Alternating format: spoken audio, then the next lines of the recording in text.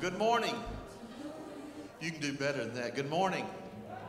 It is so good to see you. I want you to stand up and I want you to, uh, if you don't feel comfortable going to shake hands, wave at somebody and make sure they smile this morning before, before you turn back around. And you keep smiling as we praise the Lord this morning. Do that for me.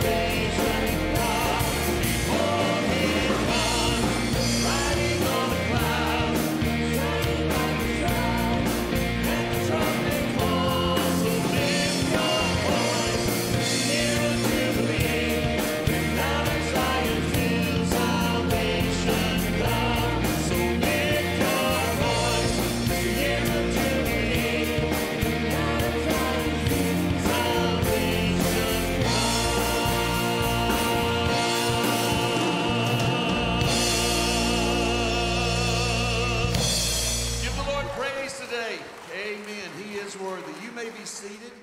We're so glad that you're here with us today. Uh, and those that are watching by way of uh, online or will watch it later, we're so glad that you're here. Our purpose today is to bring glory and honor to our Heavenly Father. And our prayer today, because we can't do anything for you, it's only the Holy Spirit that changes lives. And so we pray that you feel the presence of the Holy Spirit in this place today. If you are visiting with us, we want to thank you for being here. We know there are many other places you could be. So we feel honored uh, that you're here, and we'd like an opportunity to meet you before you leave. In front of you is a little white card, if it hasn't been drawn on.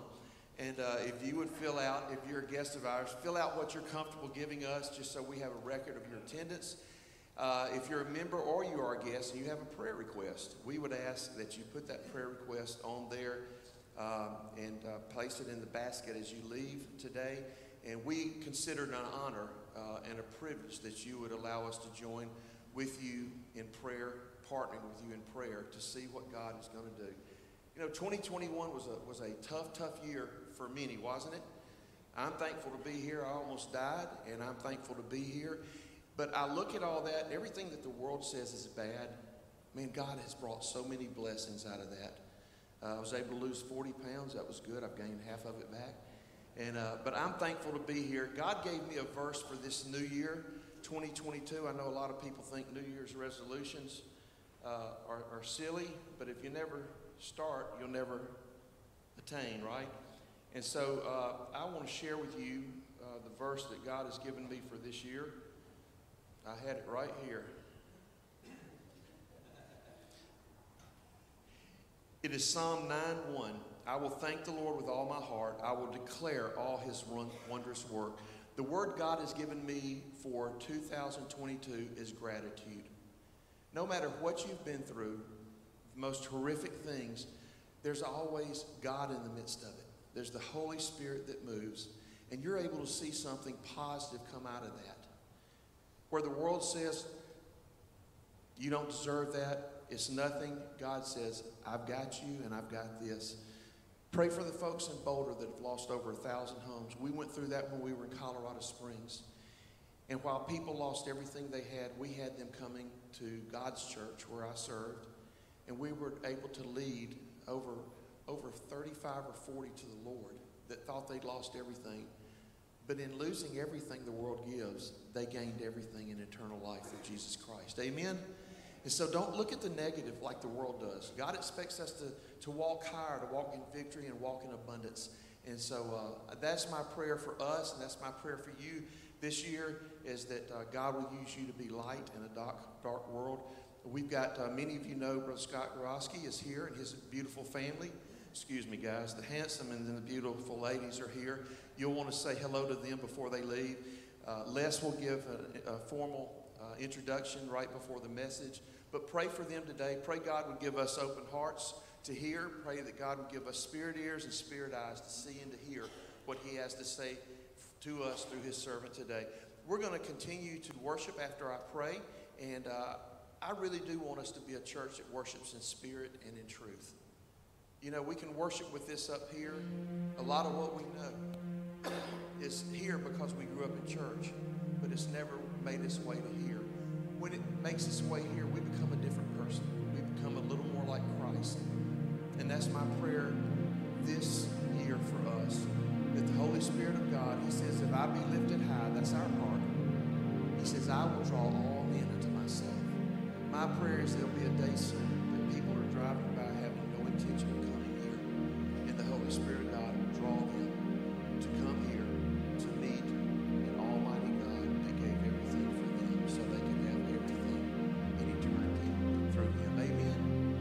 Father, today we come to you. Lord, we bless your holy name. You're a good God. Lord, as the song says, even when we don't see you working, you're still working. Lord, even when we don't feel it, Lord, you're faithful God. You're at work on our behalf. And I pray this year, Lord, as, as you prompt us in our spirit, that we'd be obedient to turn around and say hello to somebody or to ask them how they're doing. Lord, I do pray, Father, that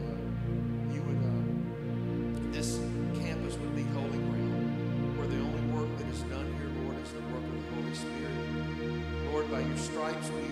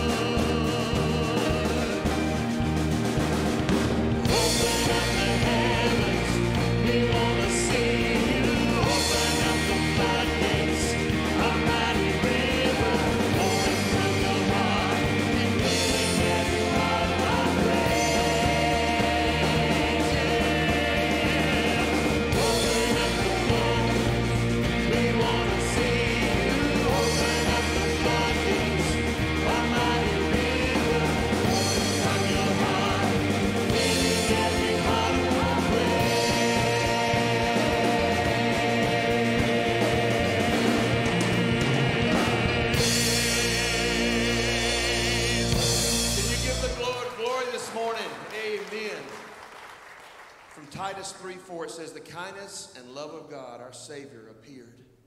It appears every morning when we wake up because His Word tells us His mercies are new every day.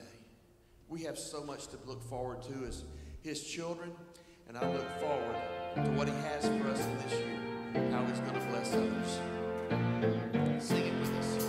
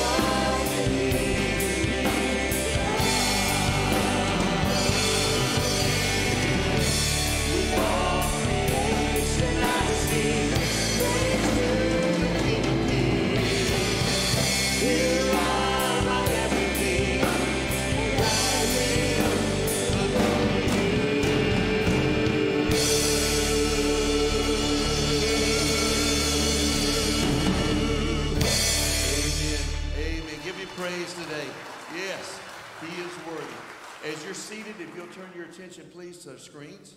Thank you. Well, hey, church family. Hey, before I introduce our guest speaker today, I want to thank you all for praying for Paige and me.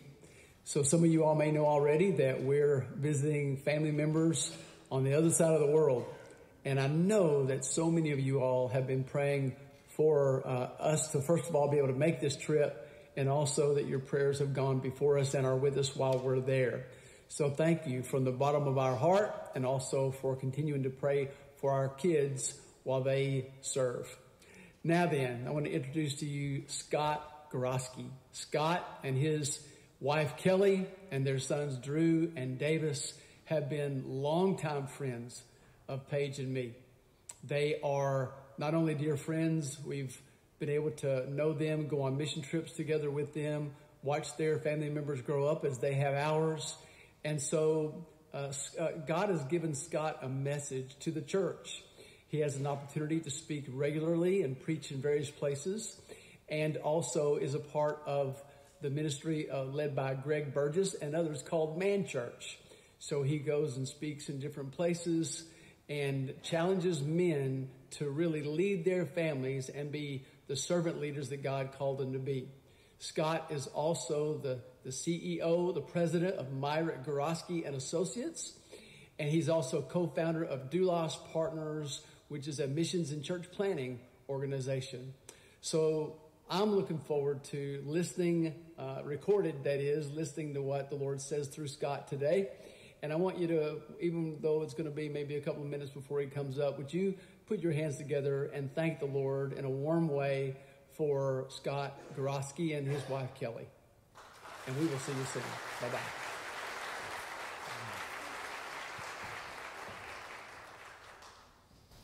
Thank you. It's good to be here. I'm always impressed with how well Les uses technology.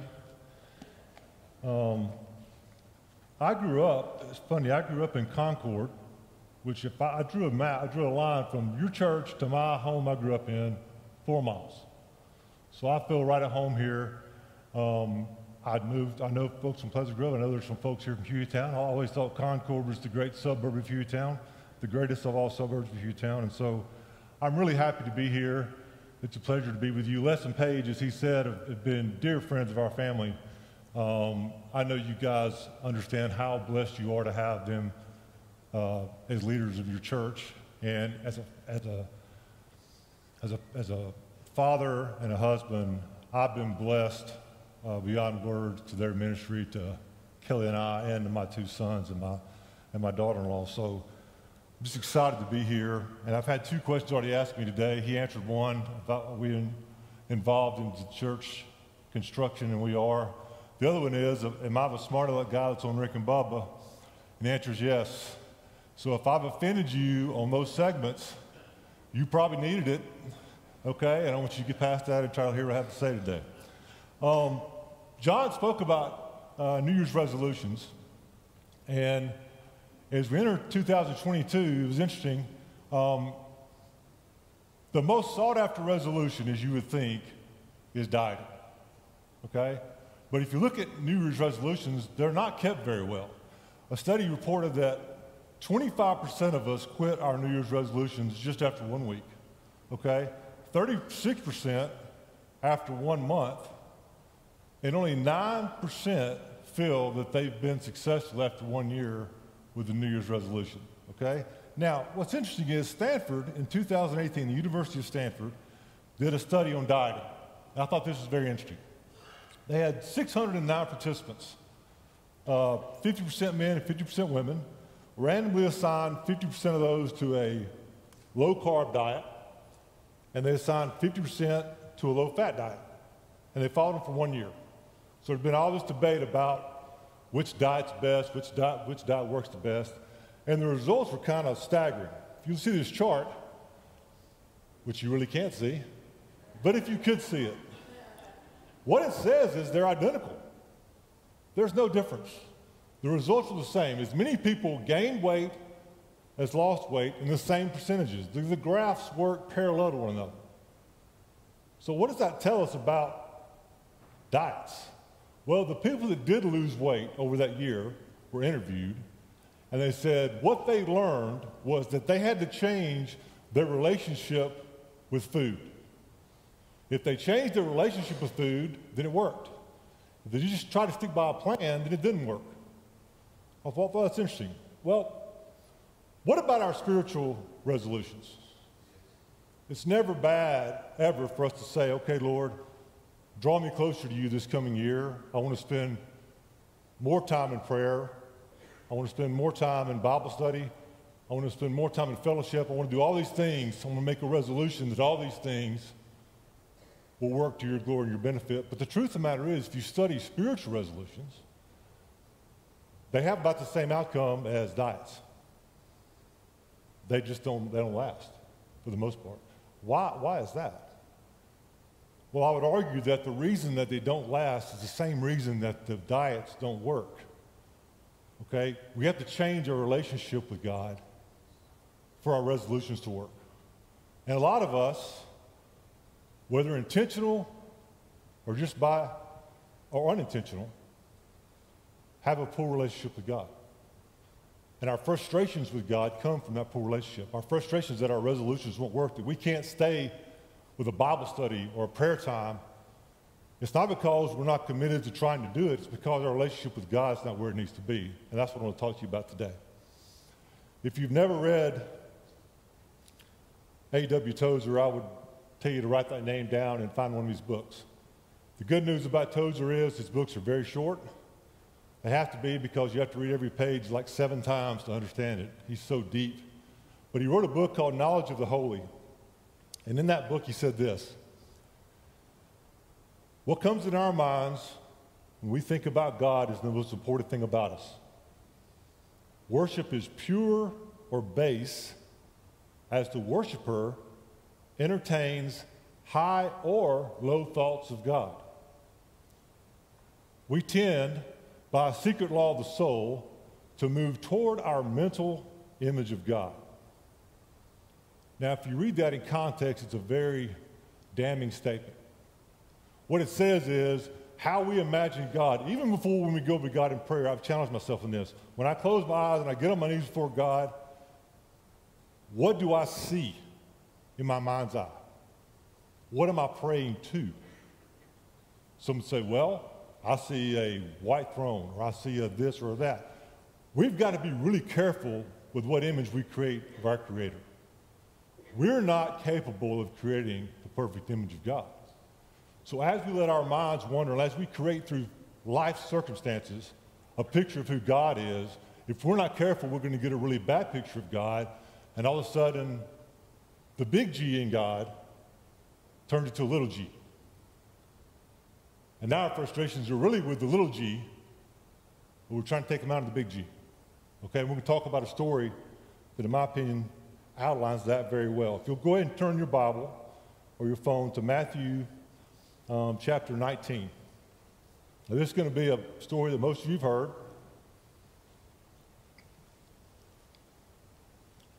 But I think we can learn some things. I know we can, as I have in preparation for this. So, we're going to be in verse 16 where we're going to start, but it's the story of the rich young ruler. Now, what's interesting about this story is it's found in three Gospels. It's found in Matthew, Mark, and Luke. And we learn about the rich young ruler in all three. We take a little bit of something different from each of those three Gospels. Okay, so it's good to look at this story in context across all three Gospels. I've always said that my wife and I were fortunate enough to, to teach student ministry for, ni- for 19 years, taught student ministry. And I always challenged our, our young folks, and I've challenged everybody I talk to, when we're reading the Bible, the first thing we need to do is, is, is understand the who's. Who's speaking? Who's the speaker speaking to? And then, beyond that, who's the audience? Okay? In this story, Jesus is the speaker. He's speaking to a man we're going to refer to as the rich young ruler. He's also speaking to his disciples. And there are also seekers. There are also others that are following this parade of teaching. So if that's the audience, that's the setting. The next thing that you have to do before you read and understand Scripture is What's the scene? What's going on? Okay, it prevents us from hand-picking scripture and misapplying it in our lives.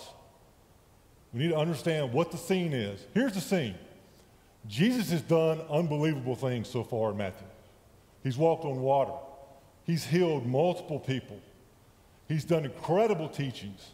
There's been the transfiguration. There's been Peter's confession. All these things have happened in this robust time of Christ's teaching. Okay, so there's a heightened awareness. People are ready to hear what God has to say, and Jesus is just force feeding it. He's just pouring it out in everything he's doing. So, in walks this rich young ruler, and I'm going to read starting in verse 16. And behold, a man came up to him, saying, Teacher, what good deed do I have to do to earn eternal life? And he said to him, Why do you ask me about what is good?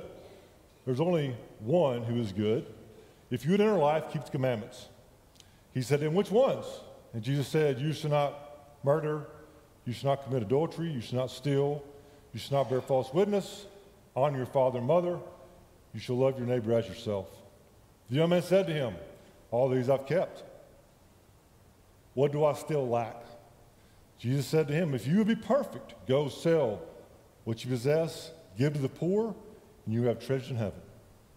And come follow me. When the young man heard this, he went away sorrowful, for he had great possessions. And Jesus said to the disciples, Truly I say to you, only with difficulty will a rich person enter the kingdom of heaven. Again, I tell you, it is easier for a camel to go through the eye of a needle than a rich person to enter the kingdom of God. When the disciples heard this, they were greatly astonished, saying, Who then can be saved? Jesus looked at them and said, With man, this is impossible, but with God, all things are possible. So, what do we learn? Some of you right now are going, You know what? I'm broke, so this must not apply to me. I'm in good shape. I'll kick back and take a nap. So, let's get past that part right up front. This is not a lesson about necessarily about money, okay? At face value, it seems pretty simple. We've got a rich guy that shows up. He's trying to buy salvation through works or through some other, some other method. Jesus questions him back and forth. And then Jesus says, Hey, if you really want it, sell everything you've got. He won't do that. And so then Jesus says, It's impossible for a rich person to go to heaven. That's the summary of the story. We flip the page and go over and we start reading some more. But I'm going to challenge us to look at this a lot deeper and see if we can find some application in our life. Rich, poor, doesn't matter. Okay, that's not the gist of the story. Go back, if you would, to where I started in 16. I want you to go back up to verse 13 above that. Now, this is interesting. In all three accounts of this story, in all three Gospels, the way the, the, the Gospels are laid out, they don't work in chronological order necessarily. But in all three Gospels, right before this starts our, uh, the rich young ruler story. We have in my Bible it says, "Let the children come to me" in verse 13. Now, quickly, what happened there? It's just two verses, but it's imperative for the church. It's imperative for the church. People were bringing children. He says, Luke said, even infants to Jesus for him just to touch them. Okay? And the disciples said, Get him out of here. He didn't have time for this. We're busy. Move on. And it said Jesus was indignant. He was angry.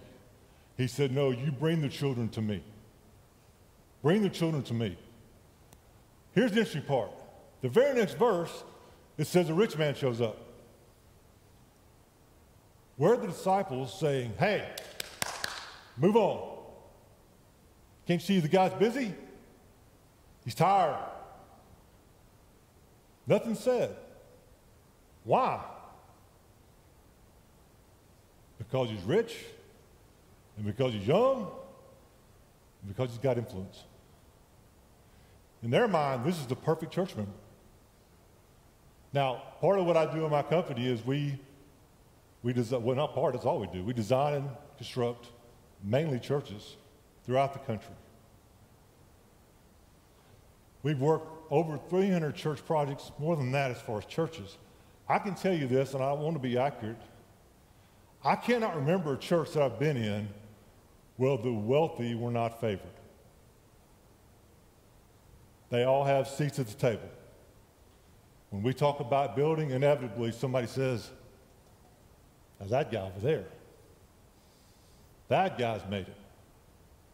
That person's, that person's made it happen. He, he's a mover and a shaker. Finance committee walks in. No one's ranting raving about spiritual gifts. It's all about have you met Jim? Jim is the guy. You see, inevitably, we have this bend in our, in our life where we treat people with influence and with wealth differently. We just do. A very good friend of mine, pastor a church um, in another state. I don't want to get into the details of this. And one of the wealthiest men in this country walked into his church one Sunday. And he said there was a buzz around this. This was about eight or 10 years ago. And everybody recognized this guy. And after the service was over, he said, deacons, elders, staff, everybody was coming to him and saying, hey, hey, hey, hey, we need to get X, we need to get this guy to speak for us. We need to have a, they started to assign him all these things he could do for the church. And my friend said this based on his life and based on his own public profession, he's lost. Why in the world would we give him a platform at this church when he says to himself, he's already, he admits himself he's lost? Now, here's the beauty of that story. Over a 10 year period, through God's grace, my friend led him to the Lord. And he passed away not long after that. One of the wealthiest men in this country. And he talked about, every time I talked to my friend, I asked about him. And it was a struggle for him to understand not only that his wealth came from God, but his intellect, the way he obtained his wealth, came from God. He almost had more of a struggle with that than he had the money. I'm self made. I did this. Okay? So that's the struggle this man has. The other thing is this is that this man needed no introduction. They don't give us a paragraph of here's how who this guy is. Undoubtedly, he walked up, the disciples knew who he was. They knew he had influence. So the next question would be this why didn't Jesus send him away? If you look just a few chapters over, you'll find the seven woes that Jesus gives to the Pharisees. And let me tell you, but he lets it go. He wears them out for being religious elitists, for being people who are better than everybody else when they're really not. So why not this guy? He fits the mold. He really doesn't. I, I would call him sincerely ignorant. He's sincere in his ignorance.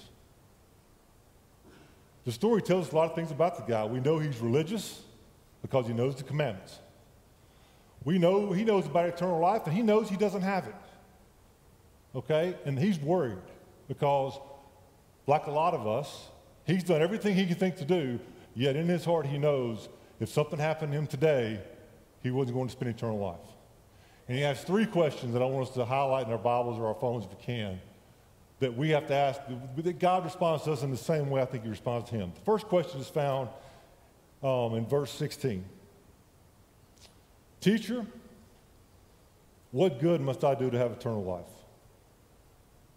Now, what this introduces to us is not only bad theology, but it's common theology. Especially, let's give this guy a little bit of a break. The New Testament had not been written yet. Jesus has not died on the cross and risen from the dead.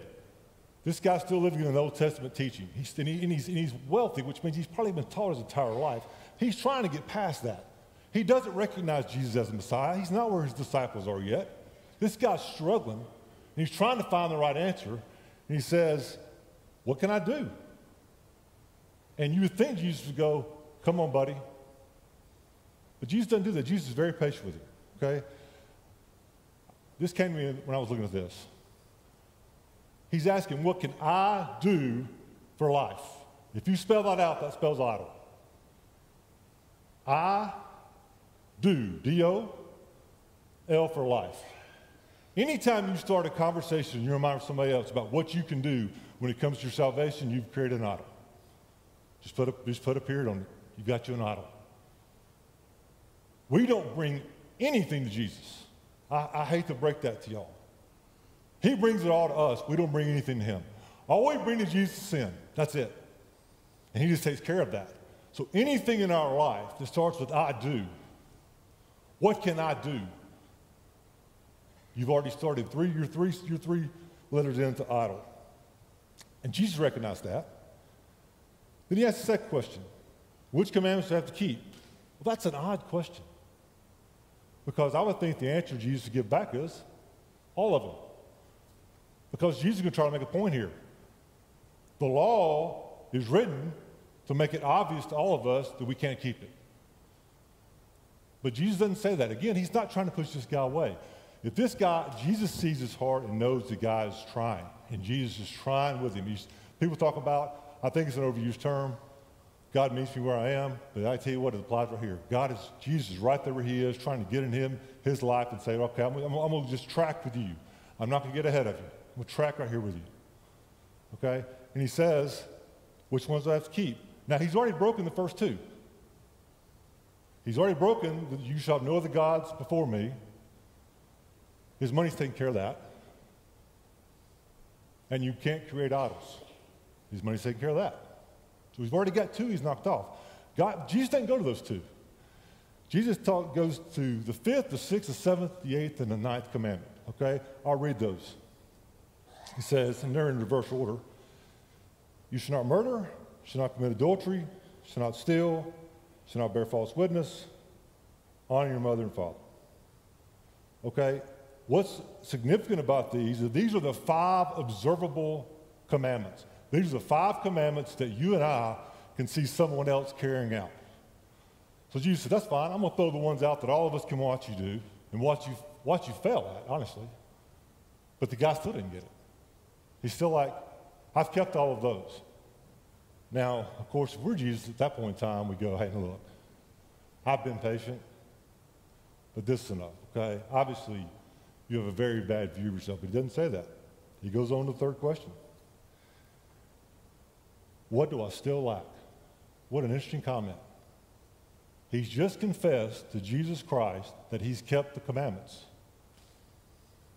Jesus himself is the only one who's ever kept the commandments. That's why he said before that, why do you talk about good? Only God's good. But he still realizes, even in his mind, that he's kept the commandments there's something here that says, you know what? I'm, I'm not there. I'm not where I need to be. My life's not where it needs to be. I've done everything the law tells me to do. I'm not there. She said, okay, that's fine. Here's what you lack sell all your possessions and give them to the poor. And listen to how Jesus says it. In verse 21 If you would be perfect, Go sell your possessions and give to the poor, and you have treasure in heaven, and come follow me. Now, when you first read that, you say, that's, that's not good theology. Selling your possessions doesn't have anything to do with eternal life. That really goes against Scripture, and we know that's not right. So, what's going on here? It's, it's not that difficult. Jesus knows that if this man would get rid of his idol and follow him, he will be saved. Jesus is speaking to him in the future. If you'll put this idol down and you'll come follow me, you're going to have treasure in heaven. You're going to get this. This void in your heart that you're battling and fighting is going to be filled and you'll have treasure in heaven. It has much less to do with the money and everything to do with the lordship and the fellowship that he's asking for out of the rich young ruler and out of us. So then what? The man left sad because his possessions were great. He couldn't give it up. Even though he knew he needed to, he couldn't get rid of it. So, again, a lot of us are going, you know what, but that's not me because I don't really have that much. My possessions are kind of meager. So I'm not really attached to them. I thought the same thing. And I thought, you know, our reliance is a little more discreet. It's not as out front as this guy's was. So, what if we change the story? What if we, what if we apply the story to our problems, to our idols? We don't like hearing that word. So I don't have any idols in my life. I hope you don't. Let's look at it. I went through my list. I thought to myself, well, what's God asking me to give up? My pride? Hey, I'm a self made man. Okay? I love God, but just like my friend who's, who had the guy come to his church, I may love your God, but I promise you I made the money on my own. Okay? There's an idol. How about your family? I think the one thing that every human that's ever lived has had in common, one thing, is that we all fear loss. All of us fear loss. I don't care who you are, we're terrified of loss. I feel the loss of my wife, my children, my sister in law, my daughter in law, my nephew. I fear loss. And as John pointed out, 2021 has been an abundance of loss. It's been an abundance of loss for our family. An abundance. We've had two this year we buried the under age 23 and under in our family. I'm not, we're not alone in that. I'm just telling you, loss. Loss can become my idol because I'm going to cling to it, I'm going to hold on to it because I like it. It's something I'm so terrified of that I'm afraid if I let go of it, it's going to happen. So I'm going to spend my entire day and night trying to prepare myself for something that I just cannot prepare myself for. That's an idol. That's something I'm clinging to instead of Jesus. It's not money. It's something to me far more sinister and, and a lot harder to weed out of our lives. What about prejudice? Oh man, don't talk about that. I was raised this way and I was raised that way. All that is a little God in your life. That's all that it is. It's arrogance. It's choosing to be something that God's asked you not to be, God's commanded you not to be, regardless of what your prejudice may be. It's not money. It's a lot harder to see, it's a lot harder to discern, it's even harder to admit. What about my addictions? Well, I'm not addicted. What about that drinking problem that your wife's been on you about or your husband's been on you about? What about that pornography problem you got that no one knows about except you and God? Nobody has to about that, Gorosky. The only person that has to know is Jesus, and let me tell you something, he knows. And there are no exceptions to the rule that I'm going to have all of Jesus, but I'm going to keep this for myself. Nope, that's just an idol. And this goes away. Goes back to what Tozer said. What are we thinking of? Jesus doesn't have room for that garbage. There's no space for it. None. Well, you don't know how I've been treated in my life. You don't know how my family's treated me. You don't know the abuse I've endured. You don't know the way I was raised. And you're right, I don't. But Jesus does. Hanging on to that is an idol. It's between you and Jesus. It's not something he has, it's something you've got that you want to hold on to in your life. And man, what about the loss? What about the hurt? I was out here 10 years ago when that horrific tornado ripped through here. The day after it happened, I was in Concord visiting friends of mine who had lost a lot. And I remember standing in his place, and I looked back this way, and I just stared. I remember just staring. And I said to a friend of mine, What is that? He said, That's Pleasant Grove. I had no idea how close we were because all the trees were gone. I was in this church within a week or two after that. I saw the slaps. I saw the devastation. Some of you might not be past that yet. Some of you might be holding that little bit in there and saying, you know what, God, I love you, but you still let this happen. You still caused this. The weather answers to you. So I'm not going to let that go. We'll discuss that when we get to heaven. Okay, you and I will figure that out when we get face to face. Man to man, eye to eye. You just got your idol set up, an idol of pain, an idol that God and Jesus wants to just take from you and rid you of, and you can't move forward. See, here's the frustration. We're frustrated because we're kneeling to God with a big G, and we're praying to God as a little g. We want our big God to deal with our small God questions. See, my little God's got these little things I keep over here to my side. They may not be money again, but there's something else. But I'm going to pray to the big God, see if he can fix that, but I want my little God to hang around. You've only got one of these. There's no space in our, in our God. The sovereign God has no space for the little God. It's clear throughout Scripture. So now what? I can't do this. Gorowski is too much. You're asking me to let go of things in my life I can't do, just like the rich young ruler. And I turn over and I read Matthew. You don't have to turn there, but it's just a couple chapters over. In Matthew chapter 11. Okay? And I, and I hear what Jesus says. He says this in chapter 11, verse 28 Come to me, all who labor and are heavy laden, I will give you rest. Take my yoke upon you and learn from me.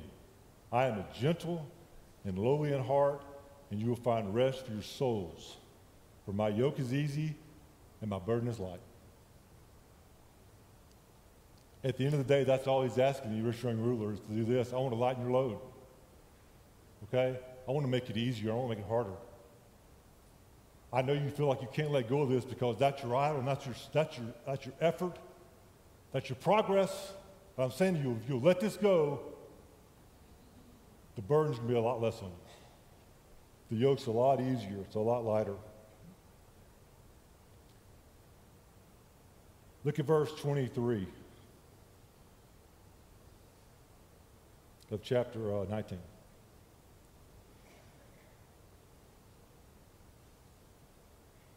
Jesus said to his disciples, Truly I say to you, only with difficulty will a rich person enter the kingdom of heaven.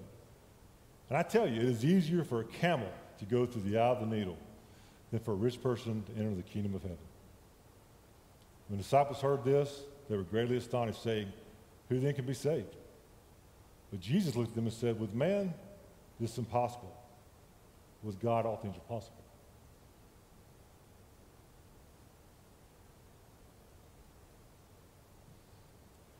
There's never been a camel that Jesus sat on that couldn't go through the eye of a needle. Not one. The question is not about the rich. The disciples say it. Who can be saved? If this guy can't be saved, then who can be? And Jesus said, No one. That's the story. Salvation is impossible without me. But with me, everything's possible. Even riding this camel through the eye of the needle. It's only possible, it's going to happen. The problem is, the camel has no room for all the rest of our stuff. We can't load up the camel with all of our problems and all of our idols, all of our issues we refuse to give to God that we want to carry and say, Now, God, I'm going to grab this, I'm going to throw it in the back of this camel with you. I want you to cruise to that needle for me. Jesus goes, Nope, that's not how it works. You got to drop all that. You got to leave the loss, the hurt, the pain, the money, anything in your life, you got to leave it. You got to come follow me, and we can ride through all the needles. You don't even bump your head. But without me, you'll never get through it. That needle's impossible without me. You see, for the rich man, this was his problem. It was his money. That's not all of our problems. But each of us have something that we're trying to saddle up to Jesus and say, hey, if you just take this, if you just take care of my grandkids, if you'll just take care of my grandkids, never let my grandkids have a hair on their head hurt, ever, then God, I'm all yours. That's not what Jesus says. Jesus says, I got your grandkids, and by the way, I love your grandkids infinitely more than you love them. I want what's best for them infinitely more than you do. See, we don't need to have conditional terms with Jesus like the rich man did. Okay? And oftentimes it's just not, again, our wealth that prevents us. Let me finish with this.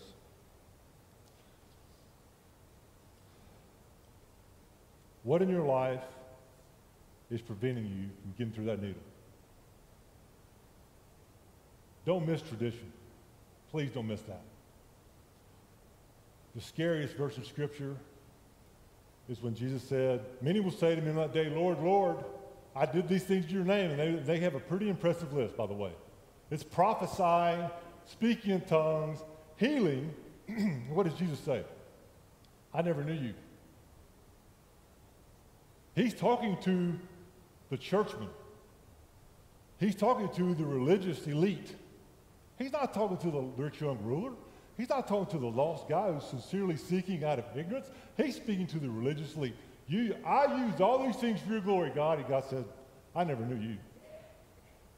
Don't think for a second that our traditions have room with Jesus. They don't. They just don't.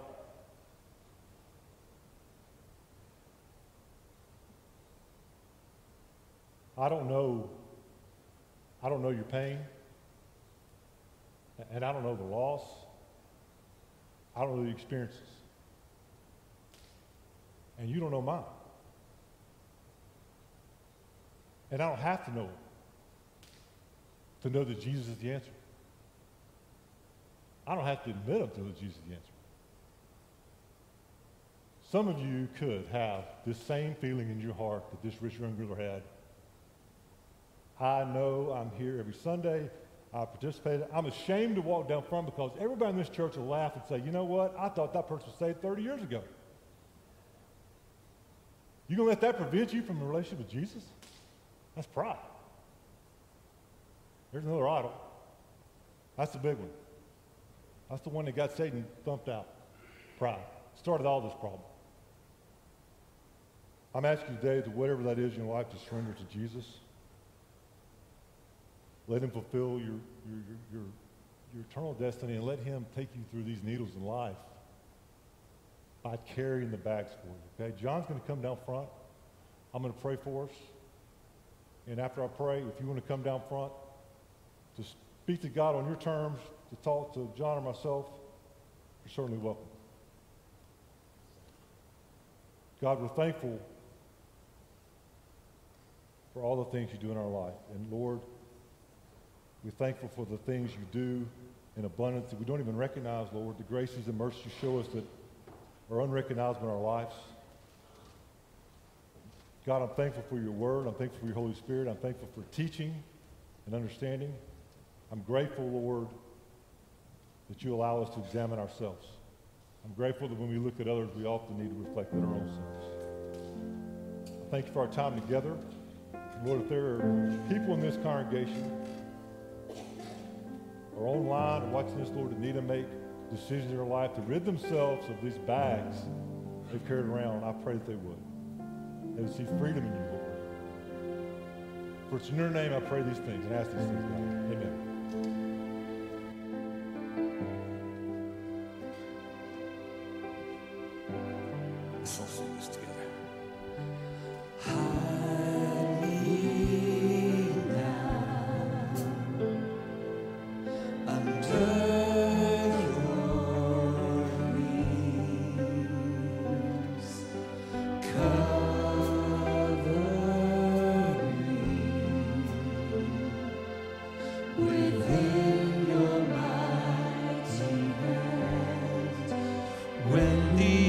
Oceans rise and I will soar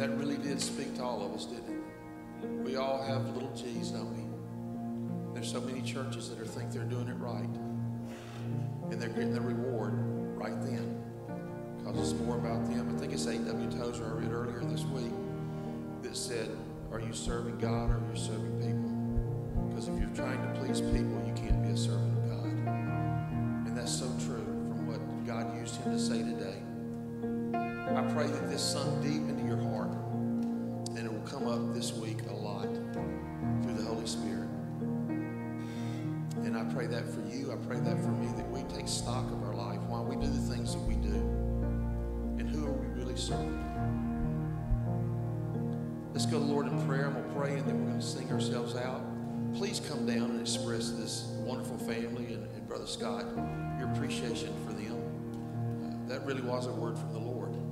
I've never heard that scripture preached that way, but that's for all of us. If we can make sure in our life everything belongs to God, I promise you this this year will be a, ch- a year like none other at First Baptist Pleasant Grove. Amen. When it's so big that we can't take credit for it, that's what men like to do is take credit. When it's so big that the only pe- thing you can say, but God, that is what it's going to bring revival to this church. It's what's going to bring revival to Pleasant Grove and surrounding areas. Let's pray together. Father, we love you. Lord, we thank you for the day. Lord, I thank you for this uh, such timely message today from Brother Scott. I thank you for his precious family being here. Father, we pray your richest blessings on them. Father, we pray for your favor for them and for all those that are watching and that will watch. Lord, we pray for your favor. Lord, spiritually this year, physically, emotionally, mentally, and financially. Lord, remind us as you bless us this year. You don't bless us to keep, you bless us to be a blessing. Because, Lord, that's what when people see Jesus in us. When we get nothing in return, but we do it because we love our Lord and we love the lost. Lord, help us to remember, Lord, as uh, your children of God, Lord, we don't gather on Sundays to entertain. We gather, Lord, for you to use us to win the lost and to disciple them to turn around and do the same thing. Help us, Lord, this year to be about the main thing. Lord, I pray that you'd wipe politics away from this church and every church in the world. I pray that we'd be real, Father. There wouldn't be hierarchy, Lord, but it'd be all of us serving you together. In love, I pray, Father, that we be a church of grace and love. Grace because you've had grace on us. Lord, we're so, so guilty, Lord, of judging people and forming opinions. And Lord, all of that is straight from the pits of hell. Help us to love like you love. Lord, do something supernatural this year in our lives and in your church. Lord, I hear about churches that are closing. Lord, man's church is in trouble, but God's church is never in trouble. So, Father, I pray that you'd fill this church with your love, with your grace, with your peace, that we get right with each other, we get right with you. I thank you for this man of God that delivered this message. Lord, we ask it, we believe it, and through faith, Lord, we celebrate it in the wonderful and holy name of Jesus Christ. And all God's people said, Amen. Open up the heavens, we want to see you